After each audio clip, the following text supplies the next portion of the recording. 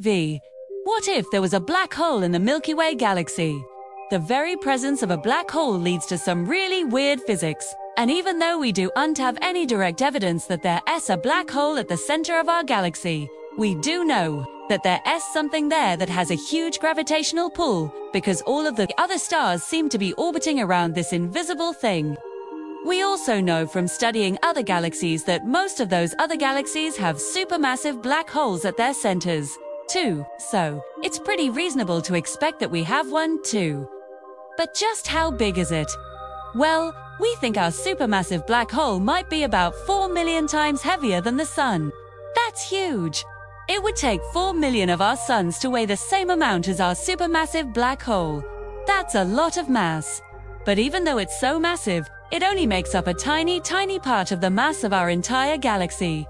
In fact, scientists estimate that for every single star in the Milky Way, there's about 100 trillion, with a T, black hole at its center. Now, you might be wondering why does that matter?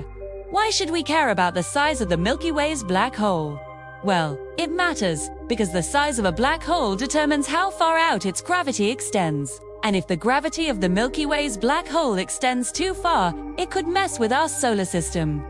Now, you might be thinking, come on, we're just a tiny little solar system orbiting around the Milky Way's black hole. How could we possibly mess it up? Well, remember that the Milky Way is also orbiting around a black hole at the center of a cluster of galaxies called the Virgo supercluster. And guess what? Our solar system is also orbiting around that black hole. And because that black hole is so much bigger than the one at the center of the Milky Way, its gravity extends much, much further out. Okay, let us go back to the beginning here and talk about what happens when you have a black hole at the black hole at the center of a spiral galaxy like ours, Jews. When you have a bunch of stars orbiting around a central black hole, they actually end up forming flat disks, and that's not just because they happen to be arranged in a disk shape. It's because gravity plays a big role in shaping the galaxy. Like, when a star moves away from the center of the galaxy, the gravity of the black hole pulls it back towards the center. At the same time, the star is also affected by the gravity of all of the other stars in the galaxy, Neth. If these two forces are balanced correctly, the star will end up in a stable orbit around the center of the galaxy. However, if the star gets too close to the center, the gravity of the black hole becomes too strong and it pulls the star into the black hole. This process of stars being pulled into the black hole and adding their mass to it is what causes the black hole to grow over time. But the growth of the black hole doesn't just affect the stars in the galaxy, it also affects the shape of the galaxy itself, too. As the black hole grows, its gravity becomes stronger and it starts to pull the galaxy into a more elongated shape. And when the galaxy is more elongated, it's more likely to interact with other galaxies, and that can cause even more stars to be pulled into the black hole. So it's kind of like a runaway process, where the bigger the black hole gets, the more likely it is to interact with other galaxies, and the more it interacts with other galaxies, the bigger it gets. Now, if this sounds kind of familiar, it's because it's similar to what happens when an atom absorbs light. When an atom absorbs light, it gets excited, and it starts to shake around. And the more it shakes around, the more likely it is to lose the energy it absorbed and go back to its original state. But before it loses the energy, it might bump into another atom and transfer the energy to that atom.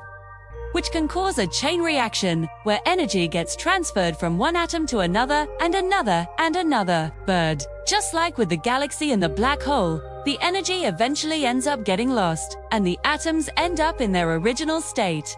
Anyway, now let us talk about how the size of the Milky Way's black hole could mess with our solar system. Like I mentioned earlier, the Milky Way is also orbiting around a supermassive black hole at the center of the Virgo supercluster. And because this black hole is so massive, its gravity extends much farther out than the gravity of the Milky Way's black hole. In fact, scientists estimate that the gravity of the Virgo supercluster S black hole extends all the way out to the edge of the Milky Way, and that means that our solar system is constantly being pulled towards the center of the Virgo supercluster. Now, don't worry, this isn't going to happen anytime soon. It'll take billions of years for our solar system to get anywhere near the center of the Virgo supercluster. But even though it won't happen anytime soon, it is still happening.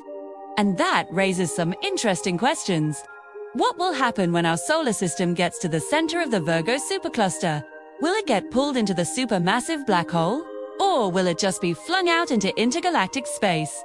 Well, it's impossible to say for sure, but it is fun to speculate. One possibility is that our solar system will be flung out into intergalactic space, and we are LAOB on our own, just drifting around the universe with no galaxy to call home. Now, I know that sounds kind of scary, but it might not be all bad, Tapper. After all, we might be able to travel to other galaxies and meet new alien species.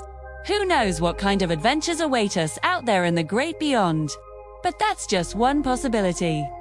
Another possibility is that our solar system will get pulled into the supermassive black hole at the center of the Virgo supercluster. Now that sounds kind of scary, but it might not be all bad. After all, we might be able to study the black hole up close and learn all kinds of cool stuff about how gravity works. But even if we do get pulled into the black hole, it probably won't happen for a really long time. Scientists estimate that it'll take at least 50 billion years for our solar system to get close enough to the center of the Virgo supercluster to be affected by its gravity. So we've got plenty of time to enjoy our cozy little corner of the Milky Way. Okay, but what if the Milky Way's black hole wasn't so small after all? What if it was actually supermassive? Well, if the Milky Way had a supermassive black hole at its center, it would have all kinds of crazy effects on our solar system. First off, the black hole would have a much stronger gravitational pull than the one we have now. That means that the Earth would be pulled much closer to it. In fact, the Earth would be pulled so close that it would be ripped apart by tidal forces and turned into a giant pancake. I know that sounds kind of gross, but it's also kind of awesome. Just imagine the view of the galaxy you could get from the edge of a black hole. But that's not all.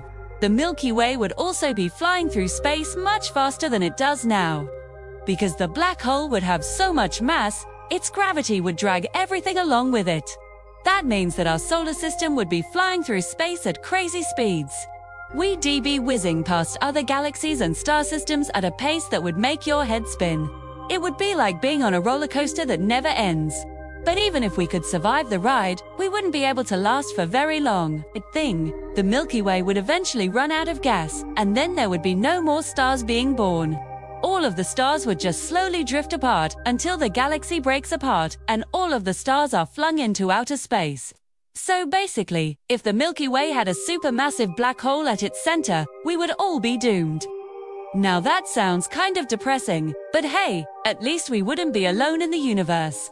There are plenty of other galaxies out there with their own black holes, and maybe, just maybe, they have their own YouTube channels too. So, if you want to learn more about the universe and all the crazy things that happen in it, make sure to subscribe to our channel. We've got videos on all kinds of topics, from black holes to galaxies to the Big Bang and beyond. And we're always adding new videos every week. Thanks for watching and I'll see you next time.